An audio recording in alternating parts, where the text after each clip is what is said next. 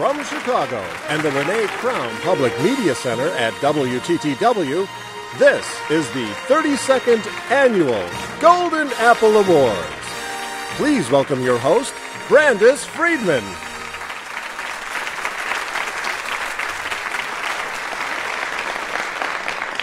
Welcome to the 32nd Annual Golden Apple Awards. Thank you for joining us as we celebrate the outstanding work of these 10 middle school teachers and principal.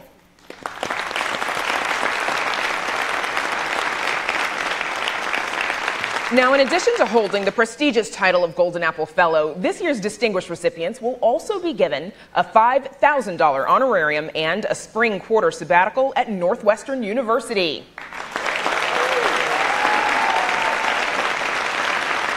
Artistic expression comes easily for some.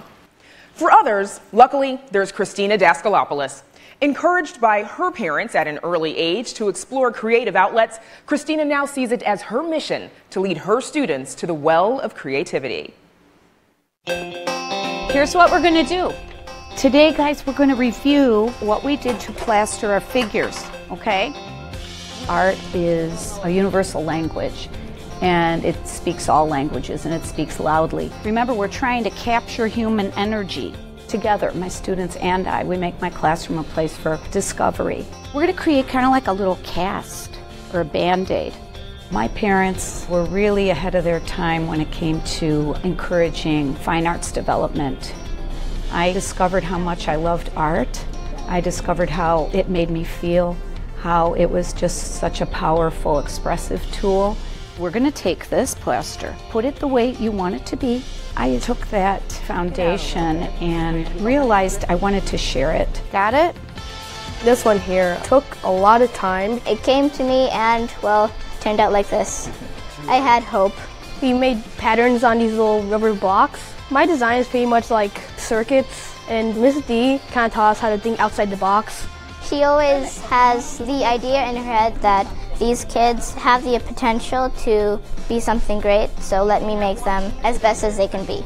Quite honestly, I think it's magic. No other teacher can do that. Problem solving, critical thinking, creative thinking. There isn't anything that Tina doesn't put her whole heart and soul into. Mrs. D creates a bridge. She makes all students feel like they can succeed. So we're going to look for contrast now, okay? This is her chance and this is their chance to flourish. This is my 29th year at Nelson School. I'm touching lives, I'm opening minds, I'm fostering creativity, which is something I so passionately believe in. Love the texture. I've been happy ever since. I've never worked a day in my life.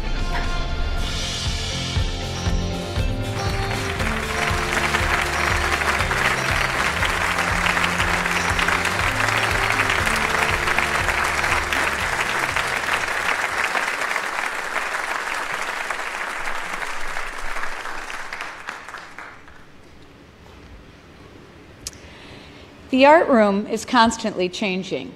It can be a place of quiet concentration or the loudest, messiest spot in the school. It's colorful, cluttered, and seldom tidy. The art room respects every child's unique perspective and celebrates their differences.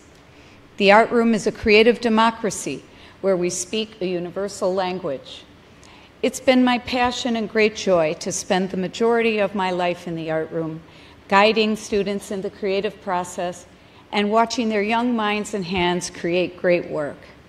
I want to thank the Golden Apple Foundation for this supreme and humbling honor, and I salute our teachers everywhere for their energy and commitment to the vital importance of teaching art. Thank you.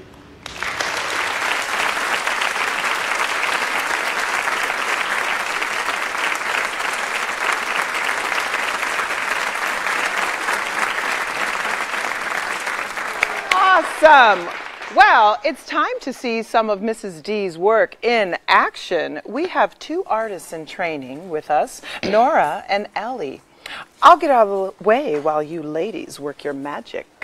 Today we're going to be making a monoprint. A monoprint is a single print. Once Nora's done painting on the surface, I'm going to take this sheet of paper and press it on lightly. When she's done pressing it on, she's going to hand it to me and I'm going to add glitter to make it a mixed media.